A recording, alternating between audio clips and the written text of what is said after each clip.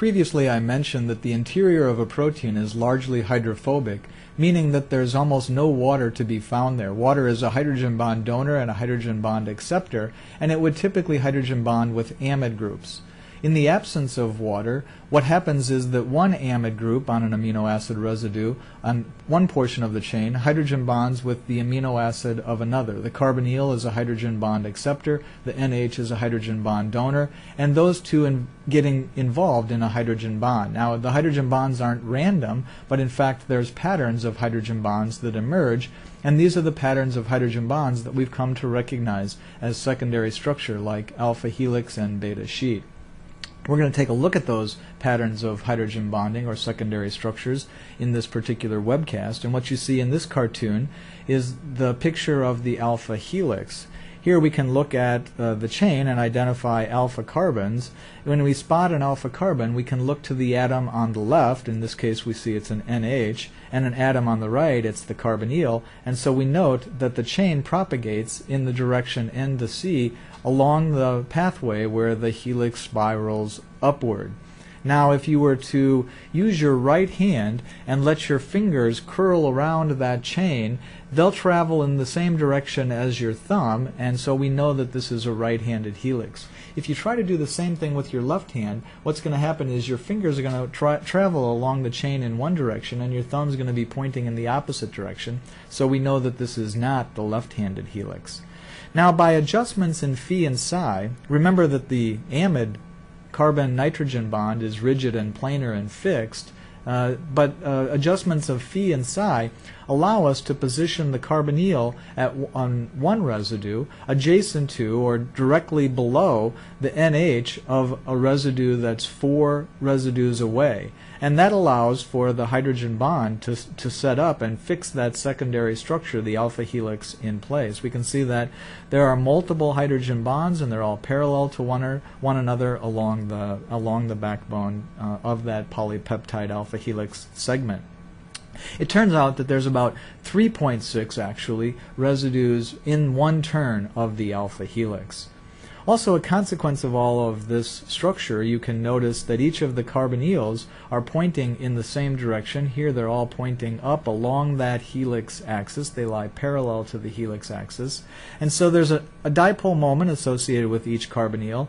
They all add together in the same way, and so that you can see that overall there's going to be a very large dipole moment that is going to travel uh, parallel to the C to the helix axis and it's going to run from the N to the C direction. And so we can always remember that there's going to be a, because of the additivity of these individual dipoles, a very large dipole moment associated with the alpha helix. I've made some models. You can try to make some models yourself, but what you'll notice is some of the hydrogen bonding interactions along the chain. So the adjacency of the NH and the carbonyl, as you can see here, allow for the hydrogen bond. And now if we spin this around, you can see different orientations of this. You can see different orientations that show that hydrogen bonding. And now you can imagine multiple hydrogen bondings that would help rigidify that structure. We can also look at what's more or less the typical cartoon representation of the alpha helix. And I've now shown you where the side chains are projecting. And so we see multiple side chains coming, basically radiating outward from that alpha helix. And so you can pick up, for example, there's lysine, and there's an arginine, there's a cysteine, there's uh, probably an aspartate or a glutamate, and there's uh, an, uh, a leucine group. So you can see an alanine and a methionine. There's all kinds of side chains, and they basically radiate outward from the center of that uh, alpha helix axis. In other words, the alpha helix provides this rigid scaffold which projects the side chains orienting outward radially from that structure. The second type of secondary structure or hydrogen bonding pattern that emerges is that of the beta sheet that's shown here. And if we just look at some strands that are lying adjacent to one another, we again pick out the alpha helix, the I'm sorry, we pick out the alpha carbon, we notice that the nitrogen is on the top, the carbonyl is on the bottom, and so we see that this chain runs from the top to the bottom in the N to C direction. The adjacent chain, there's the alpha carbon, has its nitrogen on the bottom and its carbonyl on the top, and so this chain is running in the opposite direction. Now, um, I've positioned these chains in opposite directions and they're basically going to be forming what's the anti-parallel beta sheet. And the hydrogen bond pattern that emerges is between strands of these uh, uh, uh, parallel lying adjacent polypeptide segments. So the, the strands and the hydrogen bonding pattern that emerges is shown here. You can see the blue lines represent the hydrogen bond donor to acceptor orientation and that they're lining up and that as a consequence of all of this what we end up with is a segment or a region of a sheet-like structure where there is uh, largely planar although you're going to see that these really in three-dimensional space actually have quite a bit of twist to them but over a fairly large region they're going to be uh, essentially a planar kind of uh, orientation structure. On the right-hand side, I've placed the strands in slightly different forms. So there's the alpha carbon, and we see that the nitrogen and carbonyl run that direction. And here's another unit where you can see the nitrogen and the carbonyl are also running in the same direction. These would be making up the parallel beta sh sheets, and their hydrogen bonding pattern is just going to be slightly different.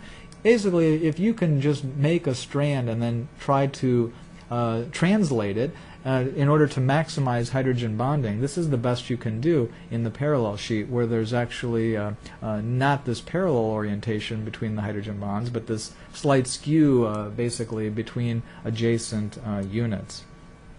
Let's take a, a, closer look at the three-dimensional structure of a beta strand. And what I would encourage you to do is to go ahead and make a model.